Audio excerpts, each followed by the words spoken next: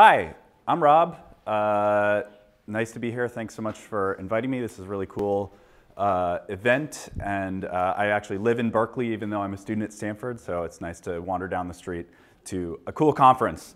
Um, so this is work from my dissertation, uh, but in conjunction with a ton of people in psychology, computer science, and linguistics at Stanford. I'm a fifth year linguistics PhD student at Stanford, um, and I'm going to talk about the first study from my dissertation, which is, uh, which is published, and there's a few that are not yet. Um, so our main question here is looking at police community interactions. Uh, do police officers treat white community members with a greater degree of respect than they afford to black community members? And this is something that people in many uh, jurisdictions report, um, but we're looking to sort of investigate it in an empirical way. Uh, when we talk about police community interaction, there's obviously a media focus on these explosive incidents uh, when particular violent uh, things happen. And there's a research focus on outcomes. But uh, one quarter of adults have contact with the police during the course of a year. The majority of these are during traffic stops. And there's an important concept uh, in the literature on policing about procedural justice, which is uh, even if it, we, we know that outcomes should be equitable. If you do the same thing, the outcome of the justice system should be the same. But procedural justice says that the whole process by which you interact with the justice system should also be equitable, and that can ultimately impact outcomes as well. So it's important. Respect in particular is important um, because research has demonstrated that a person who's treated with respect, especially in a policing context, is likely to have more trust in the individual officer's fairness, in the procedural fairness of the police as an institution, and from the police perspective, and one way that we're able to convince them to give us data for this kind of thing is that uh, people are people who are treated with respect are generally more willing to support or cooperate with the police.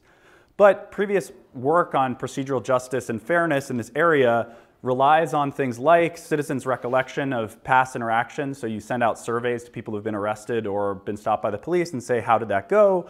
Or you have researchers sort of physically present uh, at an interaction observing what the police are doing. So these are obviously invaluable, but they're indirect. And of course, the presence of a researcher might influence the way that the police behave. So in this work, we are using body camera footage as a source of data, uh, and in particular, body camera footage from Oakland, uh, California, so just down the road in the other direction. Uh, the Oakland PD has been wearing body cameras for about eight years at this point, but they are usually in Oakland and everywhere used only as evidence. So something bad happens, we go back and look at the tape and see what happened and kind of uh, get the facts on the ground for a court case or something like that. But of course, they're also a window into everyday behavior. Thousands and thousands of hours of body camera footage are being recorded around the country every day. Um, and so this is a way that we can understand the content of these interactions that people have with the police. Um, so that's our proposal is to use this footage as data. And to do that for this first study, we're looking at all traffic stops of black and white community members that happened in April 2014, so a particular month uh, in Oakland. And this amounts to 981 stops by 245 officers. Um, the drivers are majority black, which has to do with the demographics of Oakland as well as the demographics of who gets stopped. Um, and it's a total of 183 hours of footage. We turn that into a transcribed data set. Of course, this is a text conference, so this, uh, this is all working on text, which has been transcribed, uh, transcribed speech by professional transcribers so they, as did all the researchers, underwent background checks by the OPD. They watched the videos, transcribed the words, uh, and then also as well diarized them, so said who's talking to whom. And we ended up with a data set of about 37,000 officer utterances, 350,000 words over these approximately 1,000 interactions. Uh, and so the interactions look something like this. Let's see, do I have a pointer? Is it this? Wait, ooh, I'm worried I just, oh, there we go. Okay. Um, so yeah, just a sample uh, transcription where we know the times that things are happening, we know who's talking and when, they're talking to the community member versus to dispatch or another officer. Uh, and the interactions look like this. Many of them are very mundane. Hi, hi, pulled you over. Okay, I have the paperwork. I'm sorry. it's so on and so forth. Um, so we, this is broken down into three studies. The, the first one is, in a way, kind of a traditional social psych psychological study that we're going to use later to build a computational model. So uh, study one is perceptions of officer treatment. In this study, what we're trying to do is understand can human raters judge respect from officers' language, uh, and are there differences in officer respect towards black versus white community members uh, from just ju human judgments. So we have a task that looks like this. We give people a kind of decontextualized utterance so they don't know anything else about the interaction or the race of anybody or why they're stopped or anything like that. We just give them a sort of random sample of something an officer said with one line of context so that you know, if this person is saying F you or something, then they can have some context for the respectfulness of the response. Um, and we asked them a, a, few dimensions, how impolite or polite was the officer, uh, as well as how respectful were they, polite, friendly, uh, formal, and impartial. Um, so those are the five dimensions that we asked, and it turns out that uh, when we look at the race of the, the person who was being spoken to, uh, there's already a difference on all of these dimensions, even with rating a small number. This is about 400 human ratings of utterances. So we already see on each of these dimensions there's a significant, statistically significant difference based on the race of the person that's being talked to, even though the participant didn't know that, per that person's race. Um, but these are all very correlated constructs. Um, and we kind of chose them because they're correlated and they're trying to get at this kind of underlying idea of respect, kind of like big R respect, uh, as opposed to the way we would colloquially talk about it. Um, so we use principal component analysis, which I can talk more in detail about if people are not familiar. But um, the idea is to just get at these kind of, it's a dimensionality reduction technique. We're going to just try to get at the latent space of respect. And it turns out that two components explain 93% of the variance. The first one we're going to call just respect, which is basically an element of each of these, of all of them, a little bit less loading on formality, but friendly, polite, respectful, and impartial. Uh, and that explains 71% of the variance in the ratings. And then another one, which we're going to call formality or like cold formality or maybe even social distance, explains 22%, which is very formal and unfriendly uh, or less friendly. Um, and so when we look at just those two dimensions, we see that this race-based uh, difference is actually happening in this first dimension, in respect and it's not happening in formality. So that's kind of interesting. You might think that, oh, maybe the explanation for why these ratings are higher is that they're being more formal to white people or something like that, but that doesn't appear to be the case. Um, so moving forward, um, we want to kind of scale this up to the entire data set. We have these 37,000 utterances, 1,000 interactions. This was only 414 utterances. We had a lot of raters on these, and they showed pretty high uh, reasonable agreement.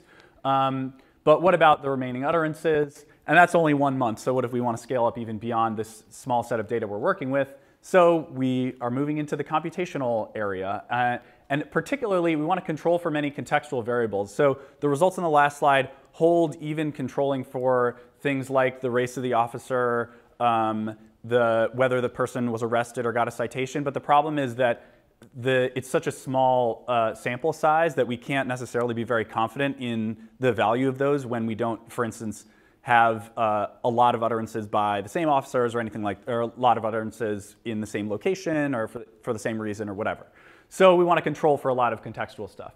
Which brings us to study two, which is the computational linguistics part, where we want to basically build a simple and interpretable machine learning model that can reproduce those human ratings. Um, so our goals here are to use some linguistic theories of respect and social distance to develop some linguistic uh, hand-built features that we can uh, detect automatically in transcripts. And then we're going to use the data from study one as supervised training data to learn some weights on these for to how respectful or uh, not certain features are.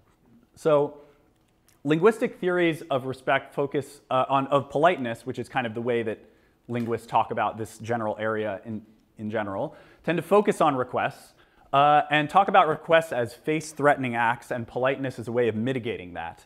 So uh, one example of this is what they call positive politeness, which is where a request is interpreted as a threat to the hearer's self-image. Like maybe I'm making a request of you because I don't like you or think you're not a good person.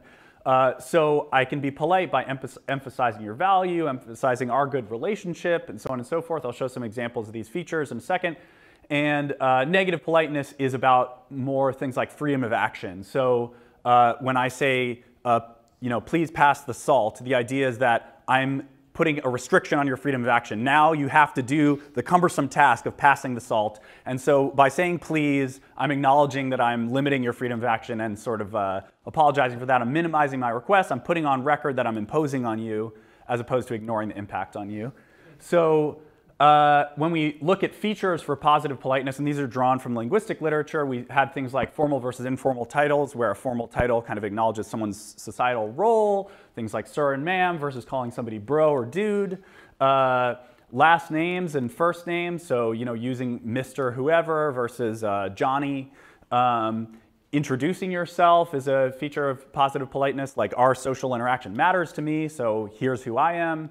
Uh, mentioning safety and mentioning this, the person's safety is another one that we include, which is really important in this context.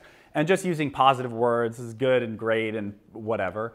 Uh, features of negative politeness include things like apologizing for the imposition of whatever I'm asking you, uh, thanking you for doing the thing I asked you to do, minimizing the imposition by saying things like don't worry about it, it's okay, using various hedges to, uh, to also minimize the imposition, and potentially things like giving agency, like I'm going to let you do X, allow you to do X, so on and so forth. So these are some examples of the features.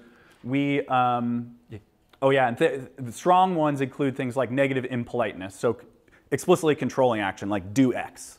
Um, so for our methodology here, we're turning those features that I was talking about and, and a bunch more into uh, sort of hand-engineered mini heuristics to extract these from uh, the transcripts, so these include lexicons, regexes, dependency-based rules, and some, some more complex functions like bald commands is like the sentence starts with a, uh, with a verb in the present tense, you know, whatever.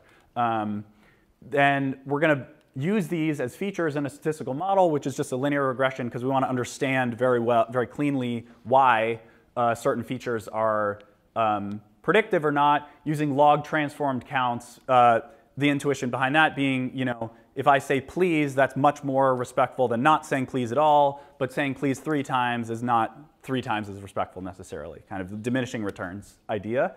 Uh, and we use stepwise removal of the unformative features, and we get a reasonable R squared that, so basically our model is able to explain 26% of the variance in the human judgments, and it turns out that this is kind of on the order of a, a middle of the road annotator. So the model performs comparably to the way annotators perform compared to the rest of them. If you like extract an annotator and compare them to the other 10, uh, the model performs comparably.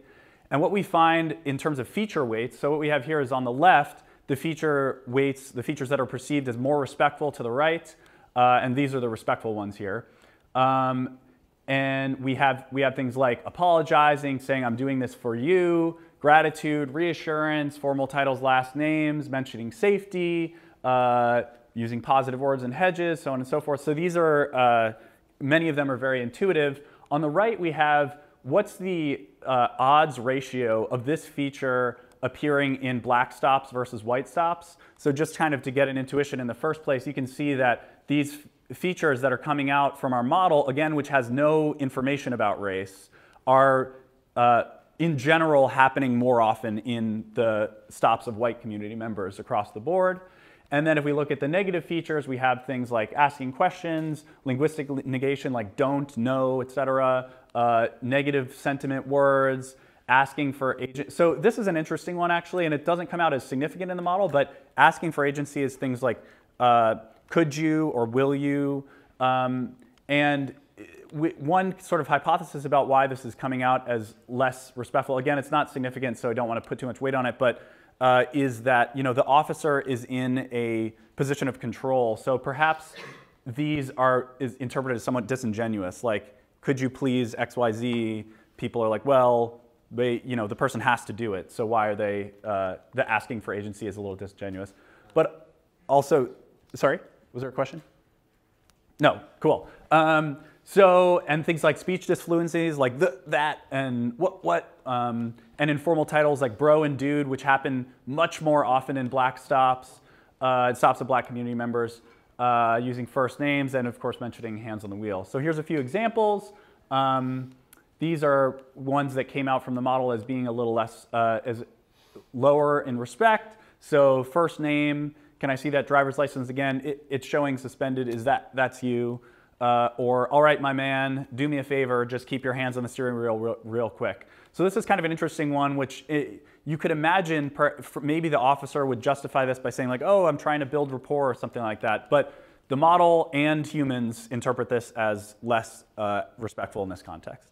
So five minutes? Cool, thanks. Um, and some more positive ones. Again, a lot of them are kind of intuitive. There you go, ma'am. Drive safe, please. Uh, just says that uh, you fix fixed it, no problem. Thank you very much, sir, etc.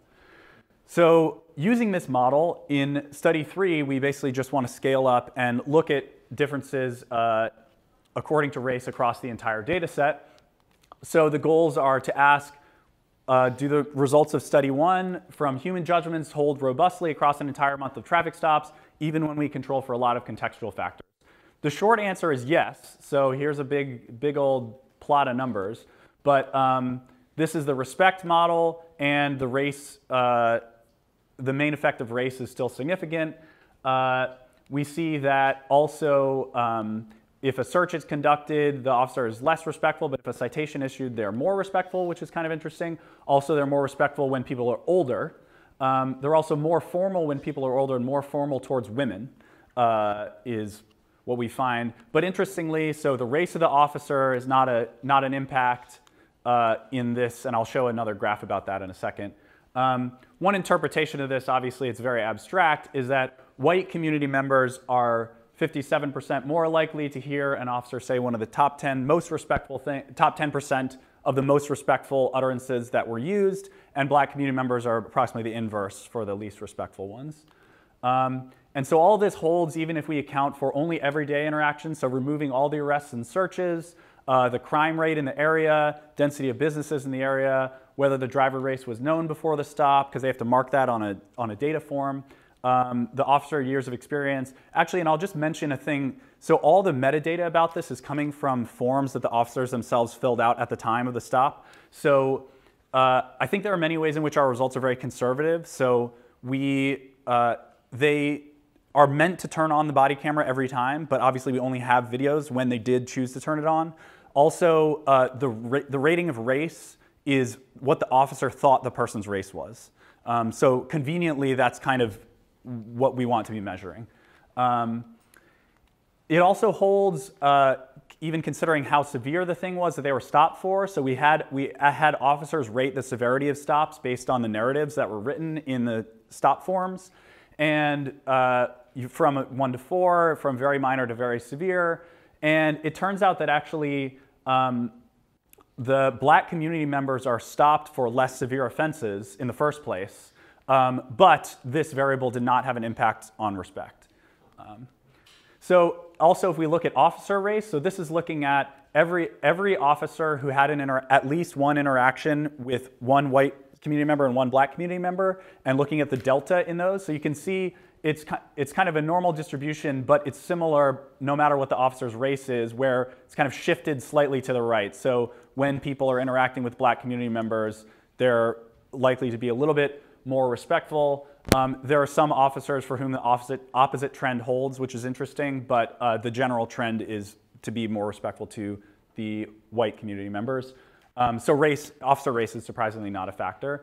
Also because we have ratings now estimated for every utterance, we can look across the interaction and we find based on the time in the interaction, for, for instance, throughout the interactions that we're getting towards the end, the officers are being more respectful, and in respect rises, but it rises faster for white community members. And it's kind of consistently higher throughout the interaction.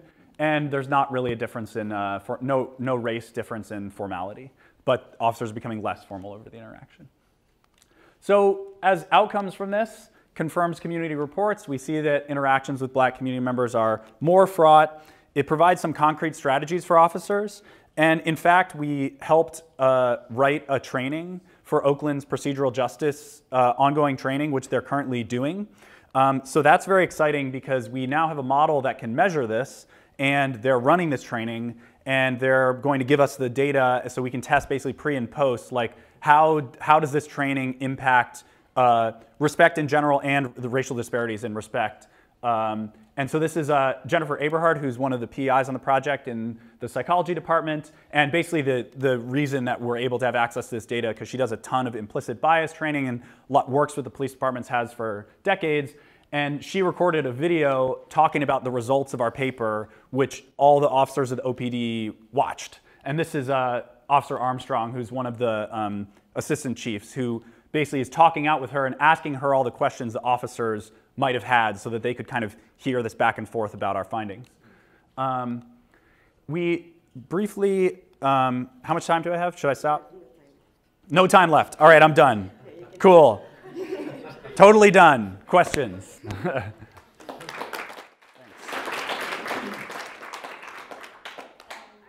oh, sorry. Do it. No time at all. That's okay. I guess we can take one or two questions. I had a question about the first study, um, the human rating. Sure. Sorry if I missed this, if you said it already, but um, was there any disparity in terms of the race or, or gender demographics of the rater? So no, um, but we were concerned about that because it's it was a classic psychology study where the the raters were Stanford undergrads. Um, so, but they were they were from diverse racial backgrounds relatively, and we did include a control for that, and it didn't appear to affect the results. However, uh, at, because of that concern, we ran a replication with people at the Oakland DMV. So we went to the DMV, and while people are waiting in line, said, "Hey, do you have 10 minutes to to do this survey?" And we ran a replication. So that's really the population who uh, we're trying to study. And um, in that case as well, there did not appear to be a difference in the way people would rate based on their race, even even population in Oakland. So we, uh, we're uh, going to publish a full replication that includes that, and we feel pretty confident that that's, that holds, yeah. Uh, can you go back to the, the plot of the density of the officer's race? Oh, yeah. So there's like a little hump of density towards the tails I was wondering about. Uh, it doesn't seem a lot, but it seems like there's something there. Yeah, so you can see it from the rug plot on the bottom here that that's only, that's only a few officers. Really, most of the density is concentrated here.